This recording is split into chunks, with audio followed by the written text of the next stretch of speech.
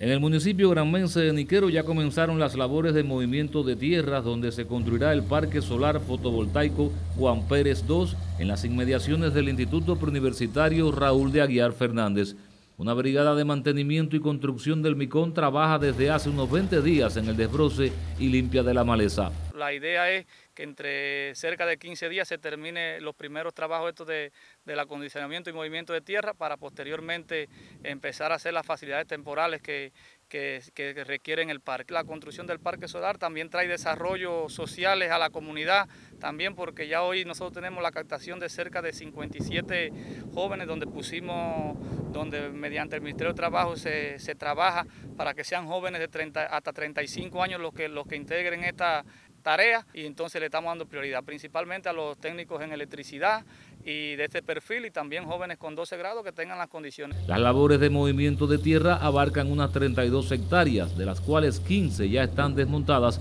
lo que significa un avance considerable a pesar de las lluvias de los últimos días que han ralentizado el avance de la obra. Puede generar la, electricidad de los tres municipios que nosotros estamos diseñados y puede aportar al sistema energético nacional. Esto depende también de la intensidad del sol con que se vaya manejando todos todos los días, pero bueno, por lo menos con cuatro parques fotovoltaicos en la provincia, más los que tenemos instalados, podemos cubrir la demanda en el día, que estos parques van a tirar directamente a las barras de nuestras subestaciones, para poder así, en momentos de afectaciones y en el municipio, puede seguir generando para el sistema energético nacional. El Parque Solar Fotovoltaico Beniquero es uno de los cuatro que se construirán en la suroriental provincia de Granma y tiene como objetivo el cambio de la matriz energética del territorio con un aporte de 21.8 megawatts a la red nacional. Julio César Vega para el Sistema Informativo de la Televisión en Granma.